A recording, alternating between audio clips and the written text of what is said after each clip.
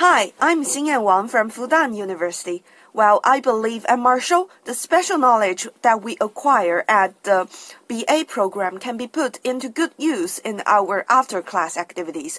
For example, I am thinking of conducting some interesting data analytics projects with my colleagues and establish a market research group where we can adopt web crawler and other big data collection technologies to examine the U.S. job market.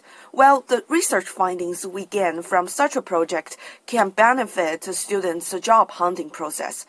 I am also a creative person outside the classroom with many passion for many activities. Well, in college, I accumulated over 500 hours of volunteer work, secretly joined a half a dozen student organizations, and become part of the leadership of them. I think these experiences will help me contribute to the Trojan family.